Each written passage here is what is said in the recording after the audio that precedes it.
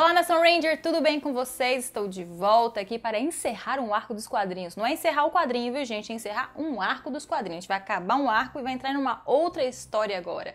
É, então, gente, Sabans Gogol Power Ranger agora vai começar a cruzar com o Mighty Morphin Power Rangers, que é o quadrinho que o Rafa faz review aqui no canal. Então a gente vai ter alguns momentos, eu acho que esses quadrinhos vão se encontrar de maneiras muito mais pontuais. Então aguardem, assistam os dois reviews. Quem ainda não assistiu os reviews do Rafa, corre aqui em cima na playlist, assiste tudo. O dele tá bem mais adiantado que o meu, então se você ainda não assistiu, ó, pega vários lanches, senta e vai assistir esse, eu acho que são 40.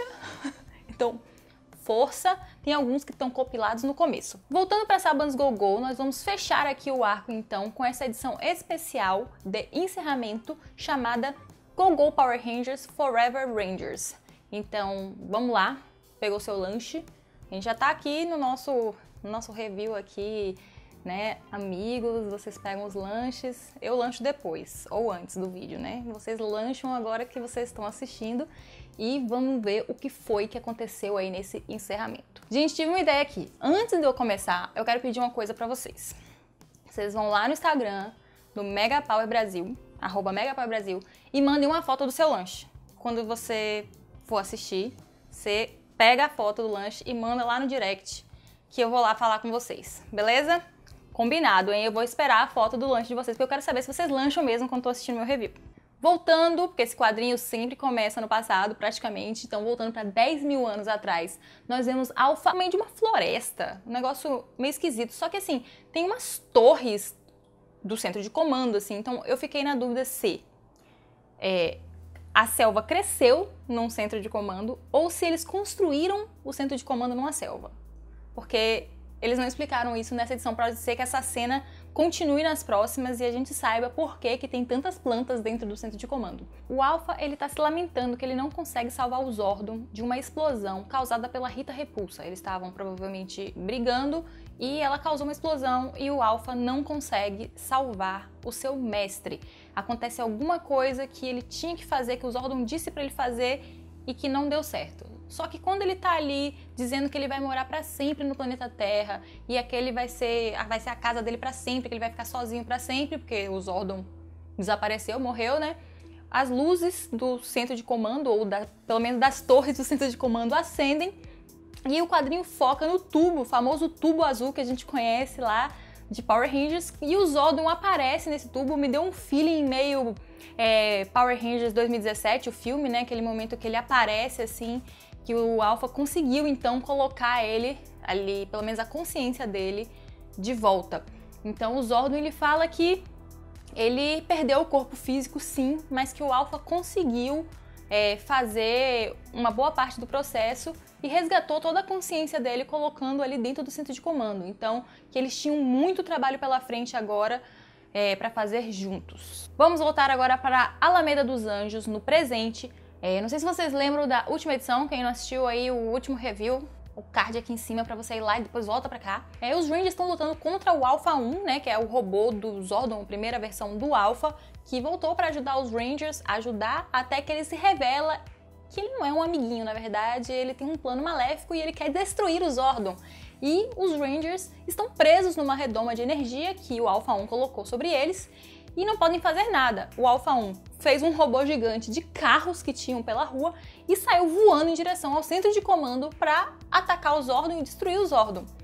Os Rangers então ficam sem saber o que fazer, mas o Goldar ainda está lá, porque o Goldar estava lá quando o Alpha 1 apareceu e o Goldar resolve soltar os Rangers dessa redoma de energia, porque ele diz que ele não vai deixar um robô, uma máquina, tipo, inútil e qualquer, acabar com os Rangers ou com os Zordon, porque isso é uma coisa que ele e sua mestra, Rita Repulsa, vão fazer.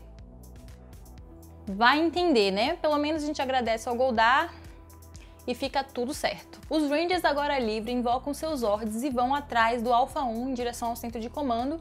É, onde eles encontram né, o Alpha 1 já atacando o centro de comando, algumas defesas do centro de comando já estão meio que fraquejando e os Rangers começam a atacar o Alpha 1. E o Alpha 1 fala o tempo todo que ele não quer lutar contra os Rangers, que ele não vê por que machucar adolescentes. Inclusive, ele é contra isso. Ele diz o tempo todo que o Zordon nunca deveria escolher adolescentes, ele deveria escolher é, pessoas mais velhas, treinadas, para serem Power Rangers e não crianças. Então ele não quer machucar os Rangers. Só que como os Rangers continuam atacando, né? Ele fala assim: bom, infelizmente, gente, vocês estão me forçando a contra-atacar. Então ele começa a atacar os Rangers e assim, o Alpha 1 parece saber todas as fraquezas deles, saber todos os golpes. Ele domina muito fácil a luta. E quando os Rangers finalmente formam o Megazord, o Alpha 1 consegue dar um golpe certeiro que os Rangers precisam desmanchar a formação e voltar para a formação de Zords.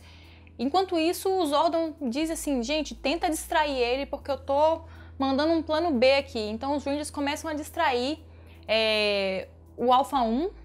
Eles até fazem a formação tanque uma vez e depois de novo para conseguir vencer.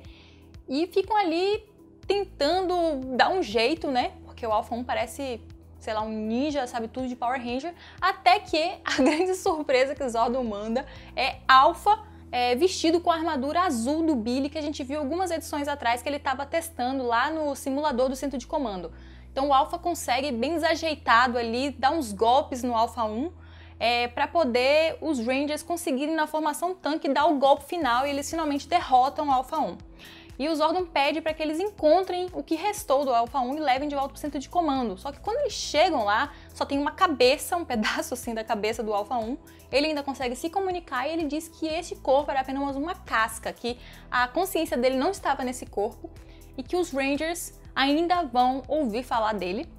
E ele aciona a autodestruição e todos os Rangers e o Alpha têm que sair correndo para se proteger porque ele realmente se autodestrói ali naquele momento. No Castelo na Lua, Rita Repulsa está possessa com Goldar. Ela não consegue entender por que, que ele libertou os Rangers, por que, que ele não deixou o Alpha 1 destruir os Zordon, porque para ela iria facilitar o trabalho. E ela acaba punindo o Goldar cortando suas asas. É uma cena bem tensa.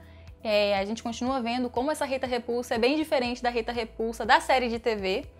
E é, a mãe dela ainda tá presa, né? A forma de energia da mãe dela, Lady Fiena, tá presa ali do lado, assistindo tudo e tentando apelar para a misericórdia da filha, dizendo que ela é uma pessoa boa lá no fundo, que ela pode ser melhor, que ela pode sair desse, dessa onda de maldade que ela tá. E a Rita simplesmente já está sem paciência. Ela fala assim: Ó, oh, quer saber de uma coisa? Eu sou má mesmo. Eu acabei de cortar as asas do Goldar aqui na sua frente, você viu.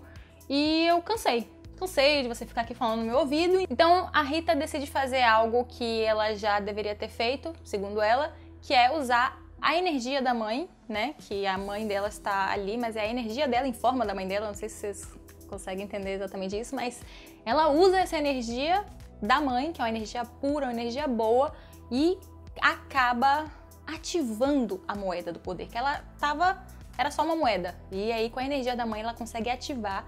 E aí, a moeda cai no chão e tem umas luzes verdes em volta, umas luzes verdes. E aí, quem sabe é por isso, né? Deve ser por isso que o Ranger Verde tem um escudo, porque a mãe da Rita usa o escudo. Inclusive, gente, eu sei, eu não vi da primeira vez. Podem falar aí nos comentários, não tem problema não. Eu não vi mesmo, é, eu não vou mentir. Agora no Earns, algumas semanas depois, é, o Billy tá ali no balcão conversando com o Ernie, o Ernie tá preparando, sei lá, um milkshake, alguma coisa para ele.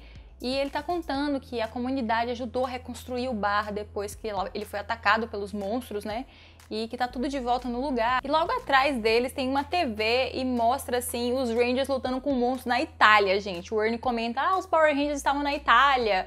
Eles não salvam só a Alameda dos Anjos, ia ser engraçada a piada, né? Porque na série parece que os monstros só aparecem na Alameda dos Anjos, mas aí no quadrinho fica aí dando a entender que aparecem em vários lugares do mundo e os Rangers vão lá com seus próprios Zords ou teletransportados, né? Porque os Power Rangers de Zordon conseguem se teletransportar e isso é muito legal e poderia ser um pouco mais explorado, inclusive, nos quadrinhos. Enquanto isso, ali também no Ernest, o Jason tá treinando com a Trini, a Trini tá ajudando o Jason a treinar para aquela competição de karatê que ele vai participar, até que ela começa a soltar ali uma real que é que eles deveriam encerrar o seu relacionamento, terminar, porque ela percebeu que na última luta contra o Alpha 1 ela ficou tentando proteger ele, ele ficou tentando proteger ela, e no fim, esse relacionamento é uma fraqueza entre os dois, e eles acabam não pensando na equipe, pensando um no outro.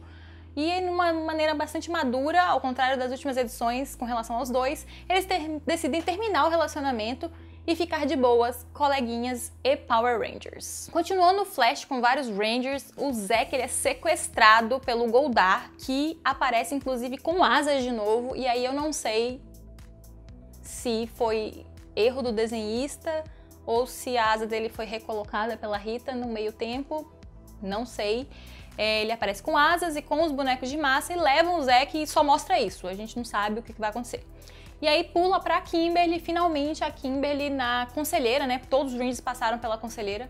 E a conselheira diz que a mãe da Kimberly ligou para conversar com ela sobre o divórcio, já que a Kimberly não quer conversar nem com ela, nem com o pai.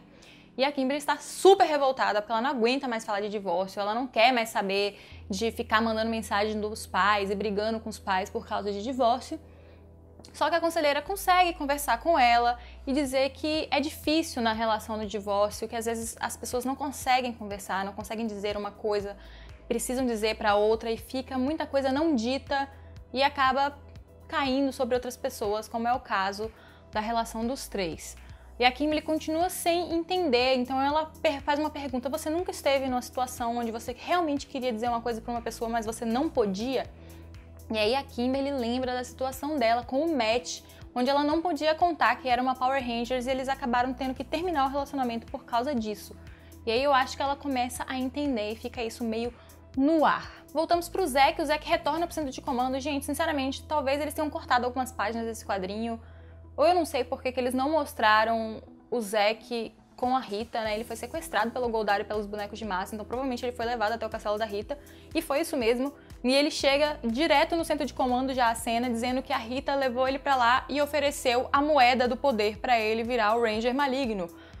E ele conta pro Zordon e o Zordon agradece a honestidade dele, agradece por ele não ter aceitado e diz que eles estavam tendo problemas há bastante tempo, né? Tendo brigas uns com os outros. O Zordon pede desculpa, o Zack pede desculpa por não ter confiado no Zordon e eles meio que fazem as pazes e fica tudo bem. As próximas páginas dos quadrinhos é meio que sei lá, estão tentando reapresentar os personagens, mostrar um pouco das suas características, o que, que, eles querem fazer no futuro próximo.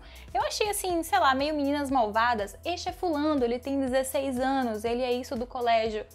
Não sei por que, que eles gastaram páginas com isso. Talvez foi a maneira que os, o roteirista e os desenhistas encontraram de encerrar o arco, mas sinceramente eu achei que eles poderiam ter encerrado de uma outra forma. Isso é uma crítica pessoal minha, e inclusive eu acho que eles poderiam ter gastado umas duas páginas com o Zack com a Rita e, enfim, ter encerrado diretamente na cena final, que é a competição de karatê do Jason. Mas enfim, eles mostram a Kimberly se desculpando primeiramente com o Matt, dando um abraço, pedindo desculpa e ele desculpando ela, uma coisa bem simples, mas que, né, tira aquele peso do coração dos dois, né, que terminaram meio esquisito. Depois, eles mostram a Trini e o Billy andando juntos, né, os balãozinhos lá descrevendo o que, que eles querem ser, blá blá blá, tipo, Billy, é, possível inventor do próximo smartphone, sei lá, uns negócios meio aleatórios, como se eles estivessem apresentando pela primeira vez os personagens. E eles estão conversando um com o outro e o Book e o Skull param eles e eles estão fazendo uma entrevista porque eles fundaram o Ranger Station, que é tipo um canal de Power Rangers. E é interessante porque essa cena específica que eles vão entrevistar a Trini e o Billy aparece em Mighty Morphin Power Rangers, o outro quadrinho lá atrás, lá no começo. Então, legal que fez um, né, um lugar aí de contato. Inclusive, o Rafa comentou comigo que agora é, o meu quadrinho, né, o quadrinho que eu faço review, o Sabans Gogol, tá encostando já na, totalmente na história que começou lá na dele. Então a gente vai ter muitas coisas em comum. Então os, os escritores têm que estar atentos aí para não deslizarem em nada. E aí eles querem fazer entrevista com os dois sobre Power Rangers. A gente sabe pela série que eles são fãs de Power Rangers, eles querem descobrir quem são os Power Rangers, enfim. É, e é isso nessa parte da Trini e do Billy. E aí nós vamos pro Zack, que não mostra realmente nada assim relevante com relação à franquia em si, mostra o Zack dos quadrinhos, que é extremamente popular, bonitão, boas notas, é o garoto de ouro do colégio. E mostra isso e ele falando assim: é, este ano foi um bom ano. E por último, mostra o Jason se preparando, fazendo o último aquecimento ali, as últimas movimentos de karatê, o Ernie incentivando ele, dizendo para ele ter calma, respirar. E ele vai entrar na competição, os amigos são todos ali com ele, dizendo que vai dar tudo certo, vai dar boa sorte e tal. E no fundo a gente vê o Tommy já fazendo super movimentos ali. E o Jason fala assim: ó, pelo que parece, né? Ele olhando o Tommy, eu vou precisar de muita sorte para ganhar essa luta, né? Porque o Tommy parece ser super habilidoso com as artes marciais. E o quadrinho encerra com o primeiro golpe um no outro, né? A luta começando. E é isso, gente. A gente vai entrar agora no próximo arco de Saban's Go Go. Nós vamos esbarrar no arco Necessary Evil de Mary Morphin Power Hands, que é o quadrinho que o Rafa faz review. Nós vamos ter vários pontos de contato e vamos ver o que vai acontecer daqui pra frente. Teremos um novo desenhista que já começou iniciando agora neste, neste quadrinho que eu estou fazendo review agora. E temos que ver o que, que nos aguarda agora nas próximas edições. Então, gente, é isso. Se vocês gostaram, deixa aqui embaixo nos comentários. É, não esquece de deixar a hashtag Squad do Poder. Me digam qual foi a parte que vocês mais gostaram. Digam se vocês leram a edição mesmo ou se estão acompanhando só aqui pelos reviews. Coloca aí também na hashtag o que foi que você lanchou. Lanche com a Ana. É isso, nos vemos no próximo vídeo e que o poder o proteja.